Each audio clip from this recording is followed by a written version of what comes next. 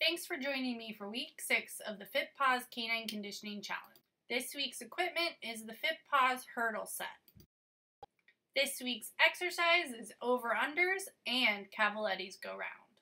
Um, I couldn't come up with just one way to use it, so I'm going to give you an example of two different exercises this week um, that are a lot of fun that you can do with the hurdles.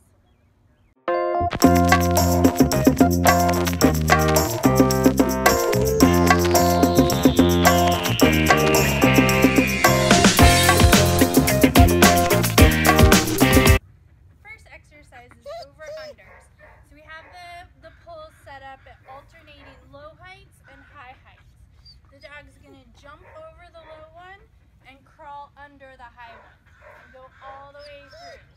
This exercise should work both the core and body awareness and you'll also see we'll get some positions like sit and down thrown in as well.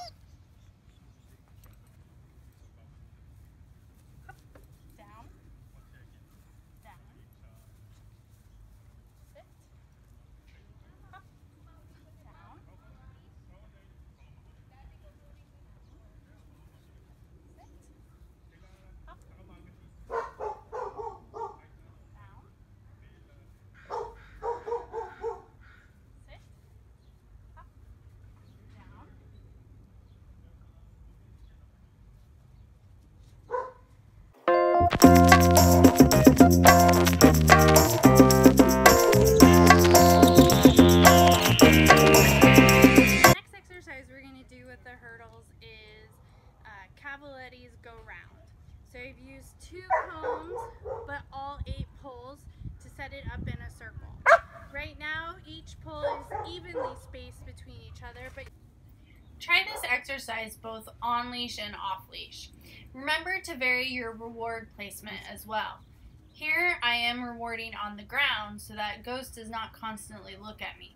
The issue with that is that she constantly sniffs to try and find any missing treats, and we don't get as nice a flow around the circle.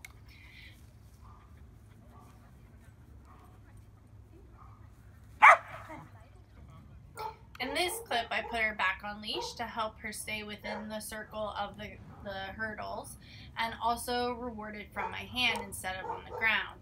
She starts to pay a little too much attention to me, though, and not where her legs are, and ends up hitting quite a few of the poles.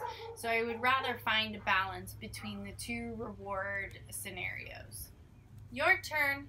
Have fun and listen to your dog. Links to purchase equipment in the video description. Want to learn more? Check out the FitPaws Master Trainer program.